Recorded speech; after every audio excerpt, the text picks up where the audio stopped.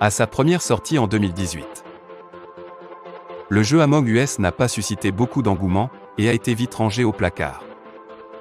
Cependant, deux ans plus tard des streamers aidés par la période de la crise sanitaire en ont fait un jeu qui cartonne sur Twitch. En effet, il s'agit d'une plateforme consacrée aux jeux vidéo en streaming. Retrouvez l'article complet sur la console rétro.fr, rubrique le magazine.